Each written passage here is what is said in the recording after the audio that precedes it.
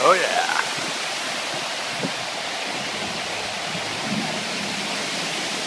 Right in the thick of things.